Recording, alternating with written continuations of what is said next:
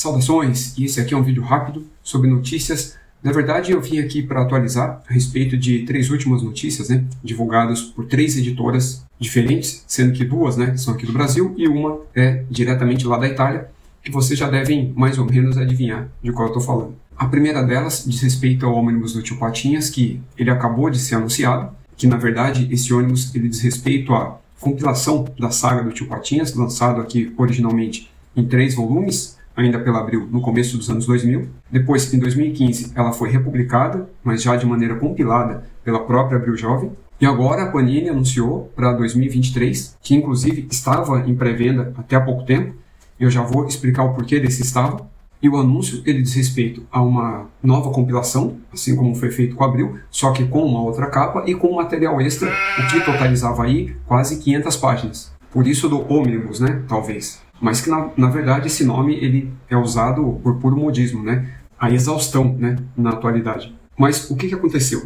Há rumores divulgados aí no, nas redes sociais, como Twitter e Facebook, de que a Panini aqui do Brasil, tá? Apenas aqui do Brasil aconteceu isso. Ela anunciou esse ônibus, né, da saga do Tio Patinhas com o nome do Dom Rosa assim na capa bem grande. Mas parece que o uso, né, desse nome ele não havia sido autorizado. Então alguém daqui ou lá de fora, né, que percebeu esse anúncio, divulgou, né, e marcou o Dom Rosa e outras editoras né, estrangeiras que também possuíam direito ou que são né, as detentoras do direito além do autor, se manifestaram, é, eu não vou dizer contra, mas surpresos por não terem sido consultados, né, e também não foi solicitado, né, o uso, né, do nome do autor, tanto que a gente ainda não sabe, né, o que aconteceu realmente, é, juridicamente falando, mas eu posso dizer que nesse atual momento, da data da gravação desse vídeo, esse material não consta mais no site da Panini aqui do Brasil, em pré-venda, nem para consulta, nem para nada. Eu não sei como fica a situação né, das pessoas que já haviam realizado a pré-venda, mesmo sem desconto, no valor aí de 259 reais. A outra notícia diz respeito ao novo serviço né,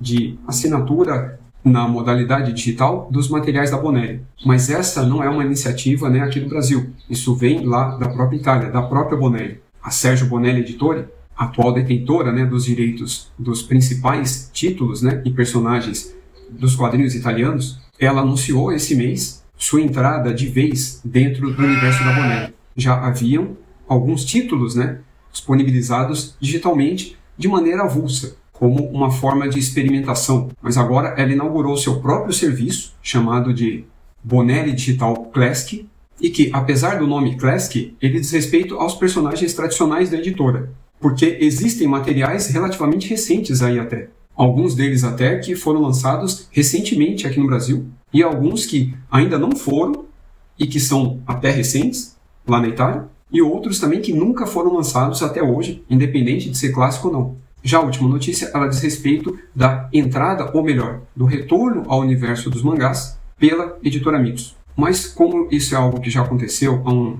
um certo tempo, então a gente pode chamar de entrada ou reentrada nesse mercado editorial. Isso era algo até esperado, mas ao mesmo tempo ficou todo mundo surpreso porque a Mitos, na atualidade, ela tem um enfoque maior em títulos europeus, mas ela também trabalha né, com títulos do mercado estadunidense, como Image, né, Dark Horse e algumas outras, mas o foco maior sempre foi no mercado europeu, principalmente o italiano. E agora ela anunciou a sua entrada né, nesse novo nicho editorial com o título, né, que na verdade se trata de uma minissérie em quatro partes, né, em quatro volumes, um material com 180 páginas custando na pré-venda R$ 18,95. É um material contemporâneo com histórias que se passam, né, no que a gente pode dizer, né, no nosso presente, mas com elementos relacionados ao sobrenatural, magia, algo típico, né, não só aos mangás, mas ao universo já da nona arte como um todo. Também recomendo a live e o podcast que sairá em breve do Fortaleza Quântica, nos quais né, eu e o Presto vamos detalhar e aprofundar, apresentar o que há de informação a respeito dele. Então foi isso. Um grande abraço e até o próximo vídeo.